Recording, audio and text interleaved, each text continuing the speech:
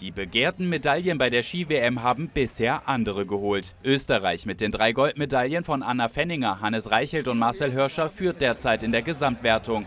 Doch mit dem Start der zweiten Woche hofft auch Deutschland auf den ersten Erfolg. Vor allem am Dienstag im Teamwettbewerb, wenn Felix Neureuter und Fritz Dopfer sowie Viktoria Rebensburg und Veronique Ronneck gemeinsam an den Start gehen. Und zuerst ist es natürlich mal schön, dass man mit der Mannschaft am Start steht, ganz klar.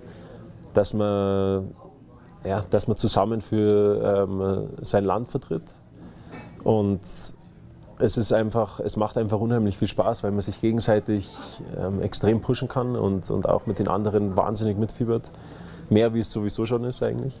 Bei der WM-Premiere 2005 gewann Deutschland Gold, vor zwei Jahren in Schladming Bronze. Und auch in diesem Jahr zählt das Quartett um Felix Neureuter zu den Medaillenanwärtern. Im Parallel-Riesenslalom treten Frau gegen Frau und Mann gegen Mann an. Der Wettbewerb ist für Neureuter gleichzeitig der erste bei der WM und in seinen Augen ideal zum Start.